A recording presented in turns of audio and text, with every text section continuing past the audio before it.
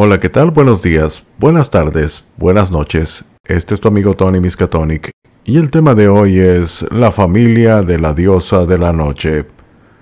La noche, en griego llamada Nix, era una figura muy respetada, pero bastante vaga en la mitología griega. De acuerdo con la Ilíada, incluso el dios Zeus sentía temor ante ella, ya que cuando hipno o sueño corrió una vez a buscar refugio en ella para escapar de la furia de Zeus, él le dejó escapar, pese a que estaba furioso, ya que se contuvo por respeto para no hacer nada que desagradara a la veloz noche.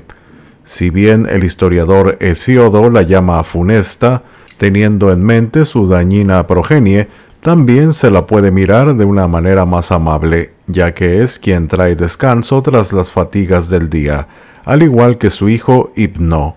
Se la podría representar como a una diosa sombría que con sus oscuras alas revolotea por el aire, o quizá conduciendo un carro a través de la oscuridad.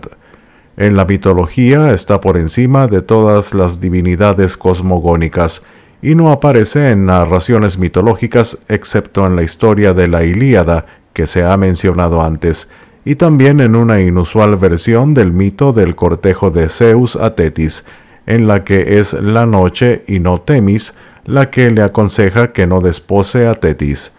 Se creía que tenía poderes proféticos, como indica esta última narración, y que estaba vinculada con los oráculos. Pausanias menciona que había un oráculo de la noche en la ciudad de Megara. Después de engendrar a dos hijos con su hermano Erebo, llamados Éter y Día, la noche tuvo una nutrida descendencia por sí sola, sin intervención masculina. La mayoría de ellos no tienen ninguna relación con el mito, el culto ni el mundo visible, y no cabe considerarlos en términos modernos como abstracciones. No obstante, el historiador Hesiodo y sus contemporáneos los entendieron desde una perspectiva diferente, como fuerzas, fuerzas oscuras y negativas, que ejercían un poder real en el mundo. De acuerdo con esto, podrían ser entendidos como divinidades, incluso a pesar de que la mayoría de ellas sean simplemente personificaciones, ya que la peor de todas las fuerzas negativas es la muerte, puesto que anula nuestra propia existencia, no sorprende que Hesiodo encabece la lista de los hijos de la noche con la odiosa Moro o destino, con el significado especial de muerte señalada de un ser humano,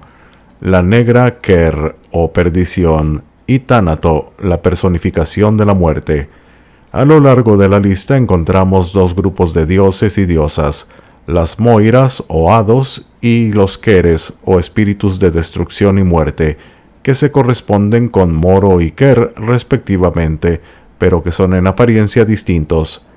Hipno o el sueño, que aparece nombrado a continuación de Tánato, y que tradicionalmente era considerado el hermano de la muerte, es una fuerza privativa distinta, pero relacionada, que nos roba toda conciencia y animación durante la noche, al menos mientras no estemos agitados por los sueños las visiones ilusorias nocturnas que turban nuestro sueño.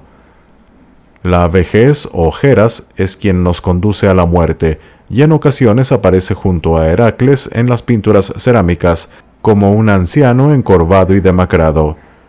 Heracles, que finalmente venció a la edad y la muerte para alcanzar la inmortalidad, lo mantiene a raya amenazándole con su masa. Diversas características negativas de la existencia humana están representadas en dolor, llamado oisis, engaño, llamado apate, némesis, que es el castigo merecido, y eris, que es la discordia. Eris tendrá una serie de hijos por sí sola, que personifican todo lo que surge de la discordia. Némesis, la personificación del castigo merecido y de la justa indignación, era una divinidad más importante que la mayor parte de sus compañeros, ya que recibía culto en Ramunte, en la ciudad de Ática, y en Esmirna y otras ciudades de Jonia, y aparece en los mitos antiguos como víctima de la pasión de Zeus y como la madre de Helena de Troya. Filotes, cuyo nombre significa amistad o amor, aparece junto a engaño o apate y evidentemente representa el placer del amor y del sexo en este contexto. Su inclusión entre los hijos de la noche se debe a su asociación con lo oscuro y muchas veces con la astucia y el engaño. Las Hespérides, o hijas de la tarde, están también incluidas aquí, incluso a pesar de que sean amables e inocentes ninfas, pero viven en el lejano oeste, cerca de la puesta del sol y de la oscuridad. Finalmente está Momo o Burla, que aparece en las fábulas como una especie de bufona licenciosa que se queja de las actuaciones y obras de los dioses. Momo aparece una sola vez en un mito serio, en conexión con el origen de la guerra de Troya, cuando la tierra se quejó una vez de que estaba sobrecargada a causa de la gran cantidad de seres humanos que se apiñaban sobre su superficie, Zeus le propuso destruir a una buena parte de la raza humana mediante inundaciones y rayos, pero Momo entendió que este plan era erróneo y sugirió que sería mejor hacer maquinaciones que condujeran a una guerra destructiva. La otra historia principal en la que aparece es una fábula en la que Zeus Prometeo y Atenea la invitaron a emitir un juicio sobre las obras que habían producido, un toro, un hombre y una casa, respectivamente.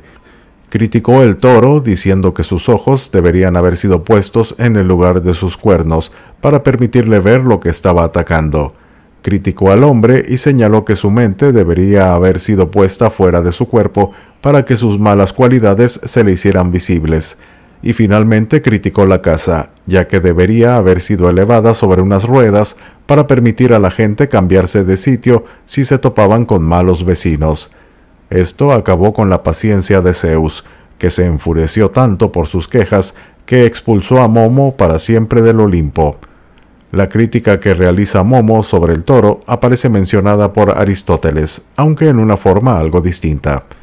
De acuerdo con otra narración, Momo se quedó tan turbada por la belleza de Afrodita que no halló nada en ella que criticar y salvó como pudo su honor haciendo un chiste sobre sus sandalias.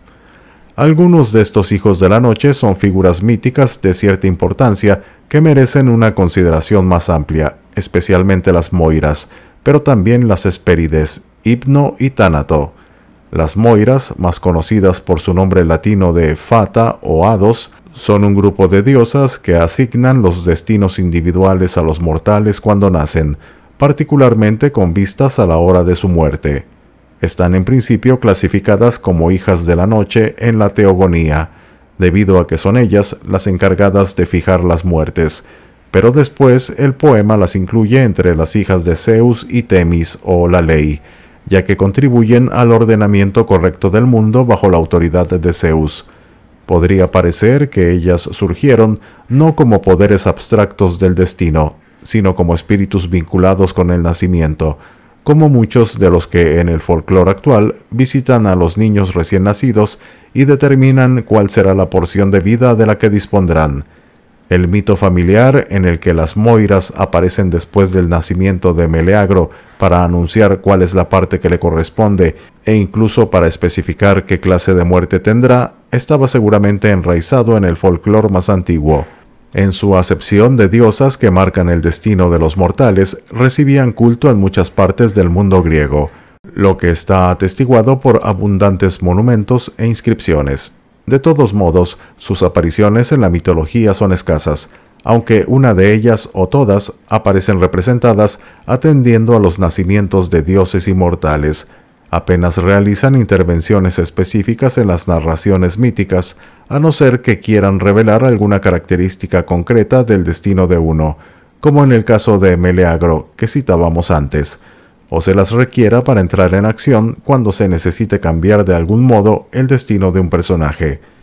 Píndaro presenta a una de las Moiras, Cloto, como la que supervisa la resurrección de Pélope, cuando es devuelto a la vida después de haber sido asesinado por su padre, para las circunstancias de esta historia. Esquilo cuenta que Apolo había emborrachado a las tres hermanas para convencerlas de que buscaran un sustituto que muriera en lugar de Admeto, según Apolodoro, ayudaron a Zeus a sofocar dos revueltas importantes, una vez engañando a Tifón y haciéndole comer unas frutas que le debilitaron, la otra golpeando hasta la muerte a dos de los gigantes con garrotes de bronce. Generalmente desde los tiempos más antiguos se representa a las moiras como tejedoras, aunque Homero solo hace una referencia a las moiras en plural, en donde afirma que han dotado al hombre de un corazón capaz de arrostrar penalidades. Habla del hilo que la moira urdió para Héctor cuando nació, y seguramente hemos de identificar a las moiras como las clotes o tejedoras que aparecen mencionadas en la Odisea como tejedoras de los destinos de los hombres a la hora de su nacimiento. Hesiodo y autores posteriores nos dicen que eran tres y se llamaban Cloto, la tejedora, Laquesis, la repartidora, y Atropo, la inflexible. Son escasas sus apariciones en el arte, pero siempre se las representa como unas mujeres hermosas, aunque la literatura se las imagine como unas ancianas. El hilo que tejen es o lleva el destino de cada individuo. Cuando se rompe, la vida llega a su fin. Con el paso del tiempo, la imaginación poética elaboró estas imágenes de diversas maneras, haciendo que las moiras urdieran un hilo dorado, por ejemplo, cuando hilaban el destino de un individuo particularmente afortunado, o que retomaran un trabajo abandonado cuando alguien era llamado de vuelta a la vida. Los nombres que da Hesiodo pueden llegar a sugerir una división del trabajo, con Cloto hilando, Láquesis determinando la longitud que se le da al hilo y Atropo cortándolo implacablemente cuando llega la muerte del individuo. También Cloto puede aparecer sujetando la rueca, mientras que Láquesis hila y Atropo corta. Asimismo, Atropo puede estar representada como la que domina sobre el pasado, dado que es inalterable la Quesis como la que ejerce su dominio sobre el futuro y Cloto la que controla el presente, hilando el destino particular de cada uno. Platón hace aparecer a las Moiras en su gran mito escatológico de la República y divide sus funciones de un modo muy complejo como para que se resuma aquí. Una o todas ellas pueden aparecer representadas en el arte, escribiendo o leyendo el libro del destino, esto puede explicar la pintoresca afirmación de Higinio de que ellas inventaron algunas letras del alfabeto griego. Como puede esperarse, están a menudo asociadas con una parte con Ilitia, la diosa de los nacimientos, y por otra con Ananke o necesidad, Itique o fortuna, y con otras personificaciones que tienen alguna relación con el hado o el destino. La palabra moira significa porción o asignación, y podía ser usada para referirse a una porción de tierra, a la parte de comida que se le asigna a una persona o a la parte que se asigna de un botín cuando se lleva a cabo el reparto. Por una extensión natural, la palabra podía ser usada para describir el lote o el destino que se le determina a una persona en vida, y el imponente poder que hace los repartos del destino podría ser personificado como Moira, hado o necesidad, o como el trío de moiras o repartidoras. En latín, el plural fata parece ser tan solo una adaptación a partir del singular fatum, que significa lo que es dicho, el decreto de los dioses, para equipararlo con el número plural de las diosas griegas, aunque aparece en un par de contextos sin implicación mitológica, con el sentido de los decretos, como podemos decir los mandamientos o los mandamientos de Dios. Más adelante, el neutro plural fata dio origen a un sustantivo femenino singular bastante inusual en latín clásico, que aún existe en italiano, francés y español, fata, fe y hada respectivamente. Un evidente instinto llevó a los romanos a identificar con las moiras a sus propios espíritus relacionados con el nacimiento, las parcas, en latín paricae, que proviene del verbo parere, es decir, dar a luz. Aunque esta identificación pudo ser alentada por una falsa etimología en la que se pensó que parca era un derivado de pars o parte, palabra latina equivalente a las griegas meros o moira. Las Hespérides eran un grupo de ninfas que vivían en el jardín de los dioses, en los confines occidentales de la tierra, en donde guardaban un árbol maravilloso o un bosque que daba manzanas doradas. En esta tarea recibían la ayuda de una serpiente terrible nacida de Forcis y Seto, que a menudo recibe el nombre de Ladón, que se enrollaba alrededor del árbol o de los árboles. o en una versión menos amable, la serpiente estaba allí para evitar que las propias Hespérides robaran las manzanas doradas. En relación con esta versión más tardía, Ferécides afirma que Gea había entregado estos árboles a Hera como regalo de bodas, quien había quedado tan impresionada por su belleza que había dado orden de plantarlos en el jardín de los dioses. Parece que las Hespérides, que eran célebres por sus hermosas voces, se entretenían cantando y bailando como el resto de las ninfas. No obstante, sus deberes no eran demasiado intensos, dado que el jardín de los dioses estaba muy lejos, y no hubo ladrones que pretendieran actuar allí hasta que Heracles recibió la orden de robar algunas de las manzanas doradas como uno de sus trabajos. En conexión con esa leyenda, como veremos, las Hespérides son a veces localizadas en el lejano norte. Se pensaba que eran tres, aunque el número varíe a veces de dos a siete, y los nombres con los que más aparecen son los de Esperaretusa o Eperie, Eritia o Eriteis y Egle, nombres que hacen referencia a la tarde, al rojo del cielo del atardecer y a la claridad del día. Hipno o sueño y su hermano Tánato o muerte estaban muy asociados en la mentalidad griega, ya fuera como personificaciones o simplemente como conceptos. Reaparecen en un pasaje posterior de la Teogonía, que señala que tenían casas vecinas en un lugar oscuro y lóbrego en los confines de la tierra, cerca de la morada de su madre, la noche. Incluso a pesar de que sus actividades muestren evidentes semejanzas, los dos hermanos tienen un carácter opuesto, ya que Hipno recorre la tierra y la ancha espalda del mar tranquilo y suave para los hombres, mientras que Tánato de hierro tiene el corazón y en su pecho alma de bronce despiadada alberga y retiene al que de los hombres toma en primer lugar. En la Ilíada, que los describe como gemelos, aunque no diga nada sobre su parentesco, por orden de Zeus se llevan el cadáver de Sarpedón del campo de batalla en Troya y lo transportan hasta su hogar en Licia. Este episodio inspiró algunas memorables pinturas cerámicas que muestran a los dos hermanos alados y vestidos con armaduras completas.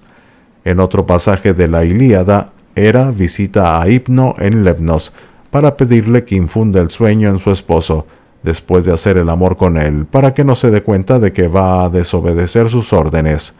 Hipno al principio se muestra reticente, ya que Zeus se enfureció otra vez que le hizo el mismo favor y le habría arrojado del cielo al mar si no se hubiera refugiado junto a la noche. Hera le convence, no obstante, prometiéndole entregarle a cambio a Pasitea, una de las gracias, como esposa. Hipno no vuelve a aparecer en las tradiciones posteriores, aparte de la que le vincula con Endimión, un héroe eleo célebre por su sueño eterno.